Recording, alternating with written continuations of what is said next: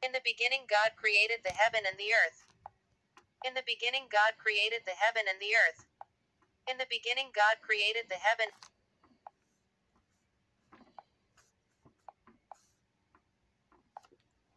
And there appeared a great wonder in heaven, a woman clothed with the sun, and the moon under her feet, and upon her head a crown of twelve stars. And she being with child cried, travailing in birth, and pain to be delivered. And there appeared another wonder in heaven, and behold a great red dragon, having seven heads and ten horns, and seven crowns upon his heads. And his tail drew the third part of the stars of heaven, and did cast them to the earth. And the dragon stood before the woman which was ready to be delivered, for to devour her child as soon as it was born. And she brought forth a man child, who was to rule all nations with a rod of iron, and her child was caught up unto God, and to his throne.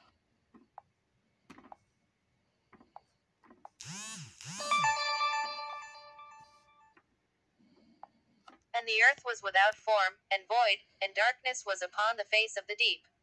And the Spirit of God moved upon the face of the waters.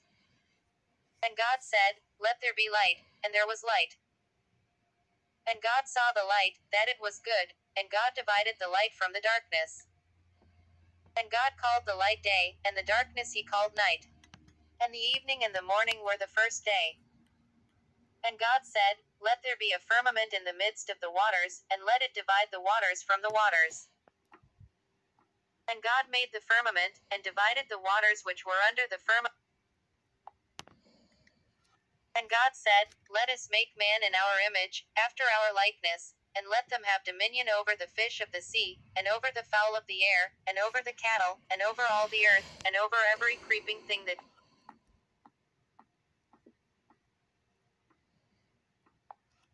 And it came to pass, when men began to multiply on the face of the earth, and daughters were born unto them, that the sons of God saw the daughters of men that they were fair, and they took them wives of all which they chose.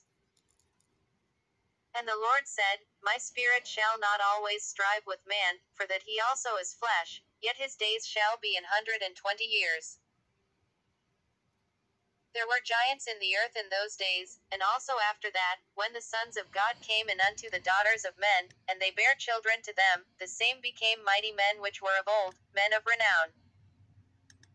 And God saw that the wickedness of man was great in the earth, and that every imagination of the thoughts of his heart was only evil continually. And God saw that the wickedness of and it repented the Lord that he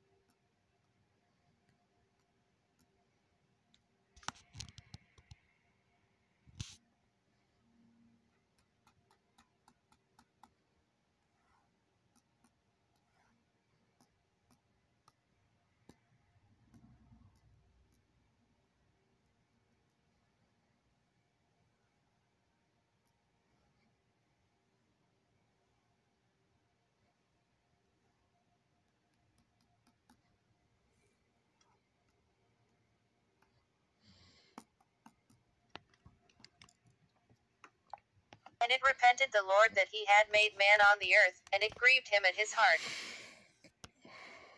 And the Lord said, I will destroy man whom I have created from the face of the earth, both man, and beast, and the creeping thing, and the fowls of the air, for it repenteth me that I have made them. But Noah found grace in the eyes of the Lord. These are the generations of Noah. Noah was a just man and perfect in his generations, and Noah walked with God. And Noah begat three sons, Shem, Ham, and Japheth. The earth also was corrupt before God, and the earth was filled with violence. And God looked upon the earth, and, behold, it was corrupt, for all flesh had corrupted his way upon the earth. And God said unto Noah, The end of all flesh is come before me, for the earth is filled with violence through them, and, behold, I will destroy them with the earth.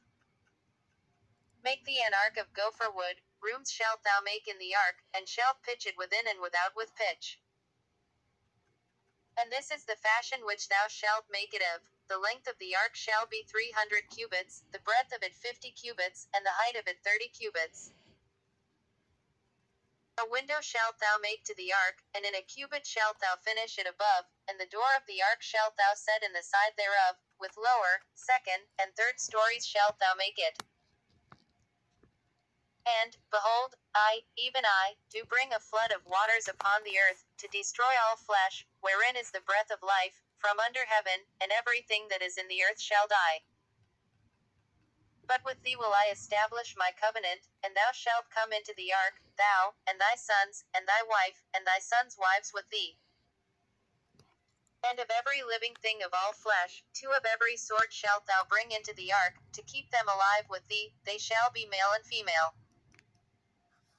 Of fowls after their kind, and of cattle after their kind, of every creeping thing of the earth after his kind, two of every sort shall come unto thee, to keep them alive. And take thou unto thee of all food that is eaten, and thou shalt gather it to thee, and it shall be for food for thee, and for them. Thus did Noah, according to all that God commanded him, so did he. Genesis chapter 7 And the Lord said unto Noah, Come thou and all thy house into the ark, for thee have I seen righteous before me in this generation. Of every clean beast thou shalt take to thee by sevens, the male and his female, and a And the waters prevailed upon the earth an hundred and fifty days. Genesis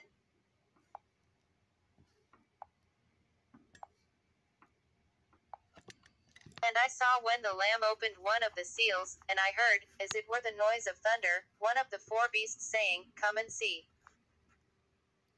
And I saw, and behold a white horse, and he that sat on him had a bow, and a crown was given unto him, and he went forth conquering, and to conquer. And when he had opened,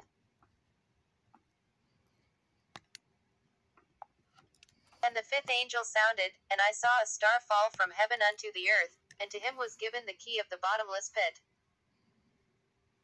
And he opened the bottomless pit, and there arose a smoke out of the pit, as the smoke of a great furnace, and the sun and the air were darkened by reason of the smoke of the pit. And there came out of the smoke locusts upon the earth, and unto them was given power, as the scorpions of the earth have power. And it was commanded them that they should not hurt the grass of the earth, neither any green thing, neither any tree, but only those men which have not the seal of God in their foreheads. And to them it was given that they should not kill them, but that they should be tormented five months, and their torment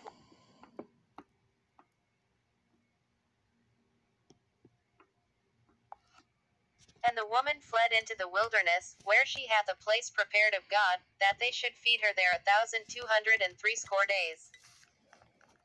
And there was war in heaven, Michael and his angels fought against the dragon, and the dragon fought and his angels. And prevailed not, neither was their place found any more in heaven. And the great dragon was cast out, that old serpent, called the devil, and Satan, which deceiveth the whole world he was cast out into the earth, and his angels were cast out with him. And I heard a loud voice saying in heaven, Now is come salvation, and strength, and the kingdom of our God, and the power of his Christ. For the accuser of our brethren is cast down, which accused them before our God day and night. And they overcame him by the blood of the Lamb, and by the word of their testimony, and they loved not their lives unto the death. Therefore rejoice, ye heavens, and ye that dwell in them. Woe to the inhabitants of the earth and of the sea! For the devil is come down unto you, having great wrath, because he knoweth that he hath but a short time. And when the dragon saw that he was cast unto the earth, he persecuted the woman which brought forth the man child. And to the woman were given two wings of a great eagle, that she might fly into the wilderness, into her place, where she is nourished for a time, and times, and half a time, from the face of the serpent.